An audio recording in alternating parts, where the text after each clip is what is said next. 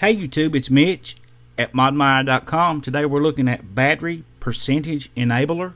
And if you are a iPhone user or an iPad user, you have always had this feature. You could put the uh, percentage of your battery in the status bar, but iPod users did not have this feature available to them. So now using battery percentage enabler, it adds that feature to your iPod. So if we go to the settings here, all you have to do is just simply download battery percentage enabler and then just enable it from the settings here and you see we scroll to battery percentage enabler and we just enable that toggle and it puts it in our status bar immediately. If we turn it off, it removes it. You see how fast and easy it works?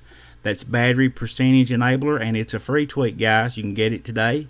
Don't forget to follow modmyi.com on Facebook and Twitter. The links will be in the description. Hit that subscribe button before you leave. Share this video. It really helps us. And keep coming back.